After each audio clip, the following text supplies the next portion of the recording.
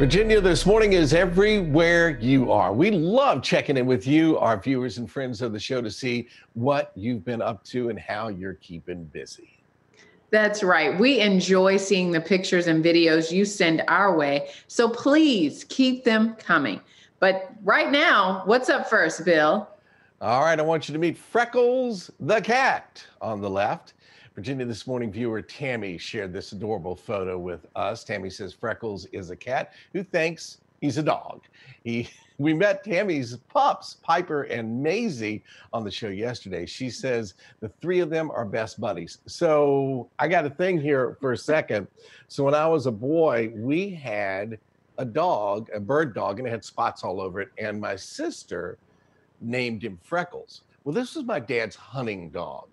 So, so whenever he went out hunting with his with his guy friends, all of them had like Buck and Sarge, and my dad had to call Freckles.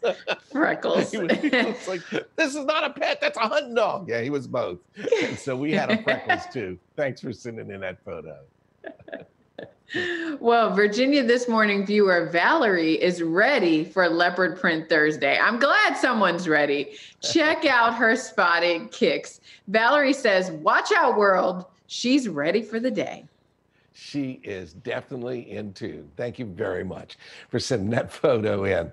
All right, our great friend of the show and personal friend, Mickey Spencer, has been passing the time like this. This is the view she has every morning as she has her morning devotional on her deck, surrounded by flowers. What a nice way to start the day. Very good. That is a nice way to start the day. I need to put some flowers on my deck now that I think of it. Maybe that's what I'm missing. Yeah. Wrong time of year to start, but go for it, girlfriend. you know, listen, I need a I need the Bill Bevins manual of gardening. That's what I need. That's what I oh, need. Oh, yeah. But we'll find some. There's some there's some fall things coming into play. So we'll Definitely. we'll get there. Anywho, the Area Rehabbers Club, or ARC, shared this photo with us on Facebook.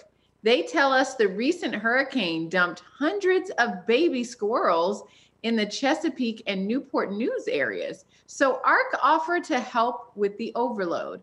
Volunteers transported the babies to permitted wildlife rehabilitators in Chesterfield and Powhatan counties.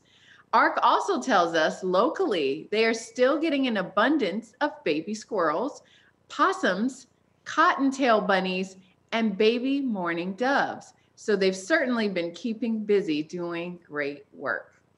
Wow. I don't think I've ever seen a baby squirrel like that before. That's wow. I haven't either. That's amazing. That's incredible. And, and they and they're taking care of them. Well, you get little teeny bottles. Like yeah. that. Almost like an eyedropper. All right, here's one of our favorite questions to ask. What have you been up to lately? We'd love to share your fun moments and stay connected with you, our valued viewers and friends of the show.